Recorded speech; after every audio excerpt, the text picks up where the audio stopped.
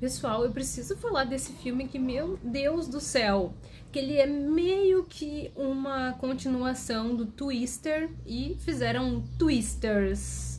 Esse filme é muito, muito clichê, muito ruim.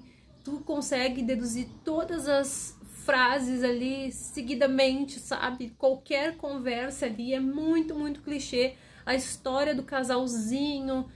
Gente do céu, realmente, assim, poderiam ter feito um filme bem mais legal, bem mais assim, nossa, que vontade de assistir esse filme, mas não, fizeram um filme extremamente nossa, sabe? O primeiro é muito melhor do que esse aí. Fizeram uma coisa muito pobre parece sim até de baixo orçamento. Ele tem algumas cenas legais e tudo mais, né, dos tornados, beleza, isso tem furacões, sei lá o que.